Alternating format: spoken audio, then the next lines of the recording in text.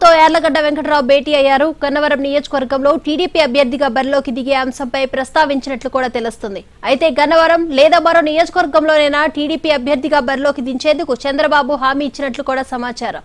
లోకేష్ సమక్షంలో అధికారికంగా TDP TDP కండవ కప్పుకోనున్నట్లు కూడా యార్లగడ్డ తెలిపారు. పార్టీ ఆదేశాల మేరకు నడుచుకుంటానని గన్నవరం కాకపోయినా పార్టీ ఎక్కడి నుంచి పోటీ చేయమంటే అక్కడి నుంచి పోటీ చేస్తానని పార్టీ అవసరం అనుకుంటే గుడివాడ నియోజకవర్గం నుంచి సైతం పోటీ చేసేందుకు సిద్ధంగా ఉన్నానని వెంకట్రావు తెలిపారు.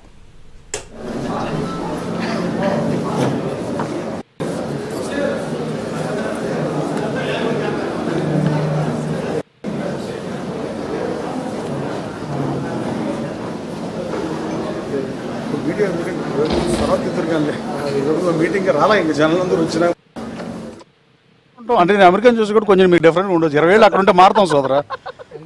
సో దయచేసి అర్థం చేసుకోండి. పార్టీ ఎక్కడ పోటీ చేయమన్నా పోటీ చేస్తా. గురువాడ పోటీ చేయమన్నా చేస్తా. గన్నవరం ఇంకెక్కడన్నా విజయవాడలో చేయమన్నా చేస్తా. చంద్రబాబు నాయకత్వం! చంద్రబాబు నాయకత్వం! రాజకీయాల్లోకి సంపాదన కోసం రాలేదంటున్నారు కదా. మరి ఇప్పుడు ఉన్నటువంటి వాళ్ళందరూ సంపాదన కోసం వచ్చారా? నేను అంటలా నేను అమెరికా నుంచి రాట కారణం చెప్పాను మీకు.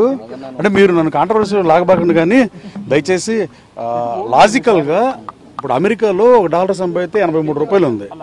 ఈజీ కదా అక్కడ ఉండి బతకడం కూడా ఈజీ కదా.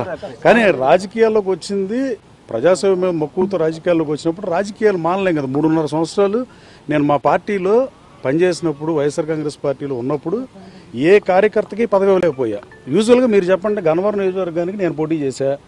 నేను పోటీ చేసిన అభ్యర్థిని ఎలా గెలిచినా మూడు వందల ఓట్లతో ఓడిపోయినా అది తెలుగుదేశం కంచుకోట అయినా నేను ఓడిపోయాను. వైఎస్ఆర్ కాంగ్రెస్ పార్టీ నుంచి గెలవాలని పాదయాత్ర చేశా. ఏ నియోజకవర్గంలో చేయనట్టుగా నేను ప్రతి రెండు లక్షల అరవై రెండు వేల మందిని నేరుగా కలిసా ప్రతి ఇంటికి వెళ్ళి నేను దండం పెట్టి నాకు అవకాశం అని అడిగాను.